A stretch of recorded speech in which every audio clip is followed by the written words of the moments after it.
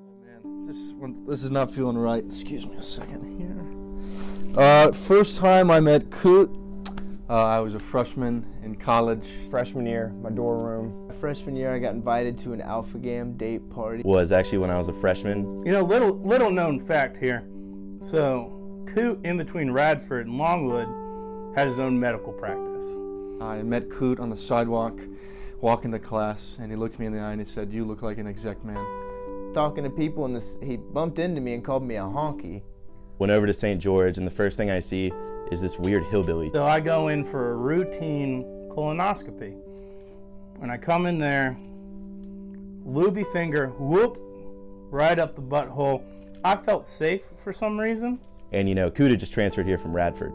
And so he immediately comes up, and for some reason, he just put a finger in my butt. Coot brought me aside one night, and he said, "Josh, I want you to join my fraternity.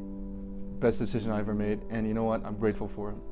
Well, the thing is about Coot is a lot of people think that Dan follows him, but I actually think that Coot follows Dan. Dan's a Dan's a really, really great guy. He just a lot of us look up to him in the chapter. He's like a he's a resolute man. Blake reminds me of Dan in so many ways. Dan's character, his resiliency. Dan's perfect. We all know that. Biggest thing, he's looking big picture. CEO, that's what he's going for. Enterprise, he's working his way to the top. They have not the willingness to fail, but the drive to succeed and to learn. Dan, he he goes through every day just drinking and sitting. My favorite part about Coot is how he carries himself as a man. I like that he can take on adversity. Honestly, what I love about Coot is probably adversity. You know what? This one might throw people off, but that man's ass has no hair. Phenomenal. Coot, uh, well, I'd say 50 50, más o menos. I don't know how that works, but it blows my mind, and I wish every day I could be like that. It's cute. Just the way that he acts around his friends, he just exudes adversity.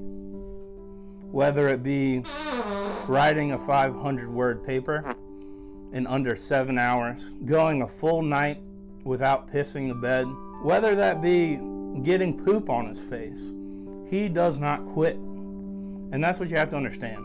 Oh, he pisses himself like constantly.